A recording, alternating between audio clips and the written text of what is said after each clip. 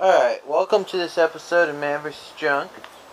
This episode, I'm going to tell you some tips and tricks uh, regarding the uh, Lee Precision um, molds and also like 12 gauge mold and also Lee Load-All 2.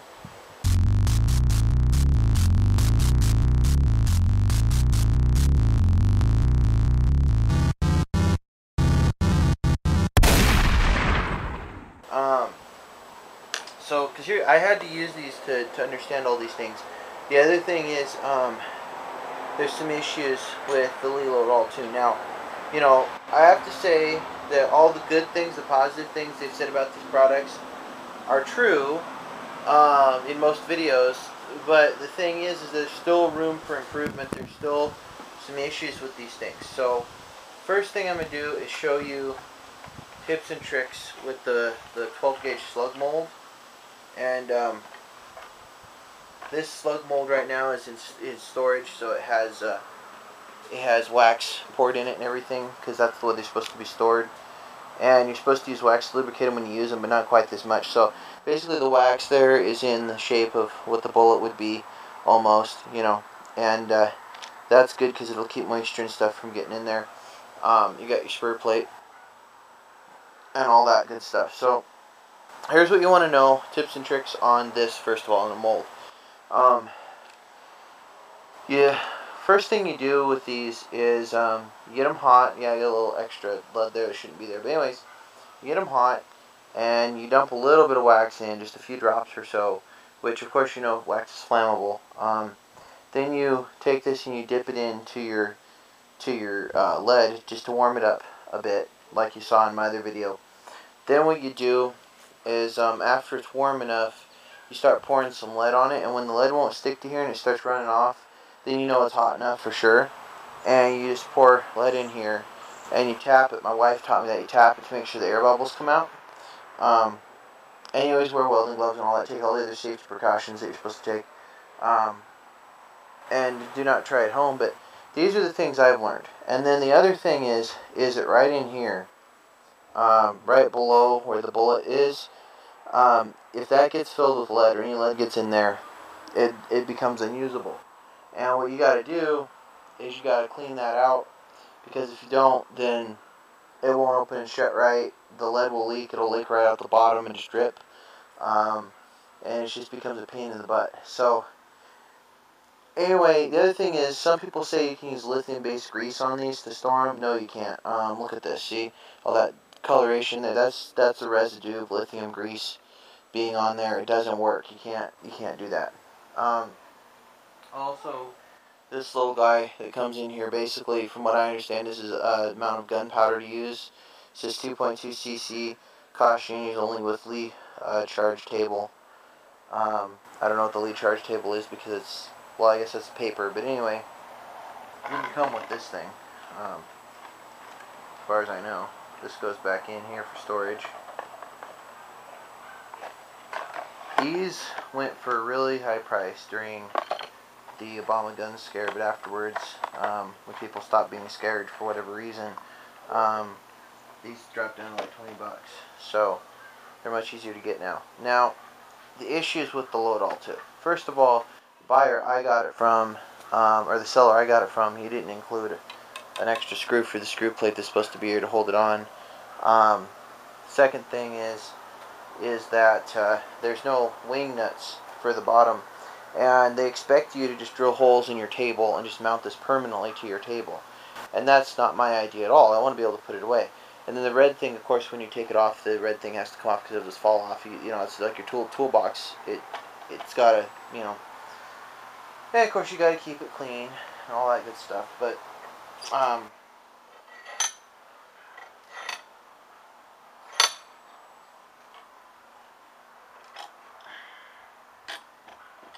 I didn't get any wing nuts with mine. Now, they might come with wing nuts, I don't know, but the guy who sold me mine, I didn't get any wing nuts, so. Um, glue's still drying here. Anyway, um, so what happened with this guy is they supply you some mounts that go down into the wood that you nail down into the wood, and then uh, they have threads in them the screws screw into on the back of the Lee Load-All to hold it in there. and uh, basically mine didn't hold in at all. Um, I pounded them flush with the thing, and they just came right up out of the board, and the whole thing came forward every time I would just every time I would go down with it and pull it forward, it would just uh, they just they'd come right out. So um, I put some glue in there, pounded down, put some glue in this thing right here, help hold the whole thing down. You don't want to get any glue underneath of it or in the machine at all. Um, other thing I learned is if you buy a bunch of preloaded ammunition, you cut the top out and you take the ammunition out and then you put something else in there like a slug or something. Then what you got to do is like put something here um, because when this goes down, something has to hold the take up the space, you know, the gap of the where you cut the top off. And so, and see, this doesn't touch where I um, mounted this to. It doesn't touch at all. But right now I've got it clamped down so that the glue will dry and uh, I'll be in business again. But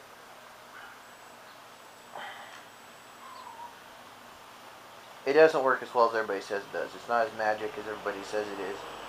Um, it is it is inexpensive and um, it is made of plastic like they say. It does do everything. It's very nice, but it takes it takes some getting used to and um, I mounted it to this piece of wood so that I could clamp this piece of wood to a table and that works but like I say the uh, the screws that hold this in and the mounts and everything just they come right out so the only thing I could say is is that if you took those uh, mounting things out and turn them upside down and put them in um, it might work if you can get it to thread right but uh, I don't know and I gotta find another screw so anyway, that's my experience. That's what I've learned about these things. And uh, I had to cut off the uh, the screws on the bottom where they stick through because they're too long and they go into a table or something. And I'm gonna have to cut them down even more now because um, since I've had to tap that down and get it in there better in the wood, they stick out a little further and I have to come off again. But uh, that's my tips and tricks. That's what I learned with the Lee equipment. And once again, this is Lee Load-All um, 2. And it's for 12 gauge. And it can be converted to 16 gauge or whatever. 20 gauge.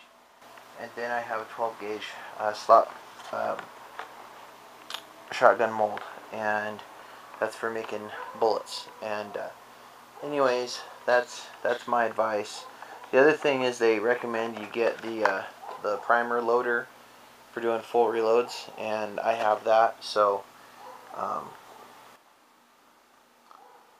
all I can say if for my review of the thing. Um, doesn't seem very cheap or, or anything like that. It works very well. So um, like, comment, share, and subscribe, and check out. Be sure to check out videos daily um, so that you can get some entertainment every day after you come home from school or work or in the morning or whenever you watch your videos. So, have fun. Be safe. Um, what else can I say? As you may know, some basics about the Lee Load-All 2. Um, your shot goes in one side, your um, gunpowder goes in the other side. It has a whole bunch of different adjustments and things that come with it. It has several different stages. It takes the primer out, puts the new primer in. Um, you don't want to put ever mess with a live primer, try and take it out because it'll probably go off. Um, you put the empty shell with the new primer in it underneath and put the wadding in it. Then, well, first you fill it with gunpowder, put the wadding in it. Then you fill it with your shot or your slug or whatever you're going to put in there. Then you move on to the, the crimping stage, which is the stage I like. Um, and after you've got it crimped, then you press it. Well, if you're if you're doing what I talked about, cutting the top off, um, you can't press it because for one thing it's too short, and number two it needs that uh, piece of metal that pulls the uh, or ejects um, the shot out of the press part because otherwise it'll get stuck up in there, and it's really hard to get it out if it gets stuck up in there you need like a little tiny screwdriver and some pliers or something. Um, it's not fun. So The only thing I can figure out is it has this little uh, slot in the front, little drawer thing, and I think that's where the the bad primers go. The used primers, I think that's where they go, is in there. But uh, I had just pretty much waiting for the glue to dry at this point um, because I was using it like crazy today, and I was pushing back on it when I was pulling down on the top to try to keep it from from coming out, try to keep it from having any problems, and it came out anyway.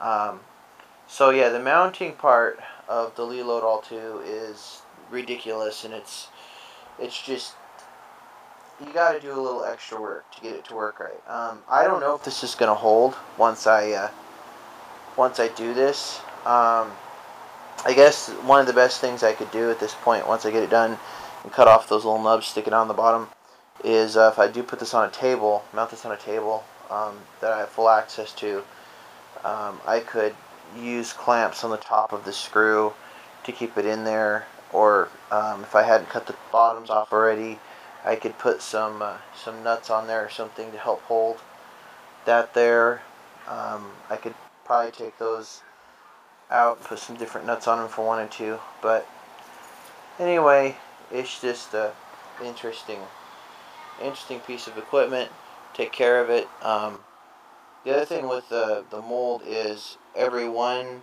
or two times you make a bullet, if you lubricate it with just a little bit of wax, um, it makes a big difference. Temperature is really important too. If you cool it down too much at the second stage, you saw in the other video where you put it on the damp cloth like it says, um, then the bullets aren't going to want to pour into it as well um, unless you heat it up a lot. So, and then of course there's the video where I modified the heating element so that the safety wouldn't keep coming on every time that the lead started melting. And um, all of that, of course, is a do not try at home. All this is a do not try at home. But um, I just thought I'd tell you about these things and show you these things in case you decide to take the liability of trying this stuff yourself. Um, because I think that it's interesting. I think people should know about these problems because other people review these things and they don't talk about these issues with um, shotgun reloading. So, anyway, like, comment, share, subscribe, and check out videos daily.